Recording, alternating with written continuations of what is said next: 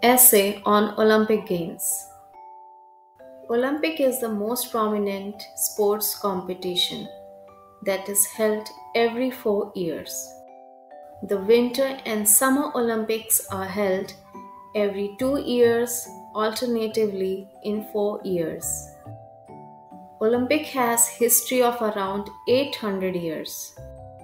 Olympic Games were first played near Mount Olympus in Greece in 778 BC in the honor of the Greek god Zeus.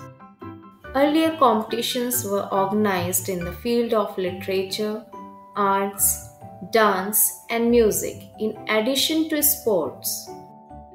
The Olympic Games were revived in 1894 with the efforts of the French prince Pierre de Coubertin First modern Olympic was organized in 1896.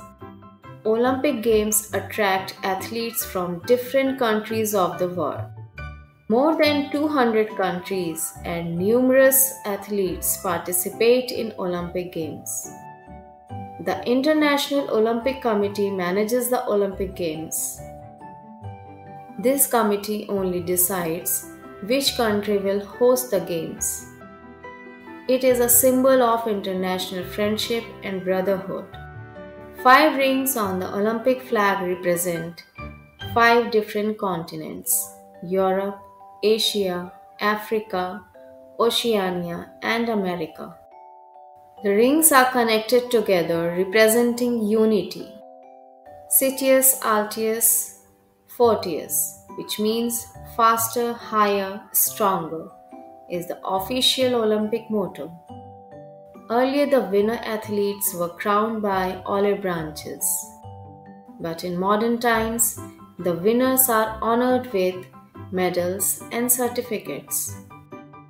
During the World Wars, Olympic Games were not held. One special day is dedicated for Olympics as International Olympic Day on June 23rd. USA has hosted maximum number of Olympic and has won the maximum number of Olympic medals. During the Olympic Games, athletes and other people worldwide unite to celebrate the spirit of sportsmanship. Thanks for watching. See you in the next video.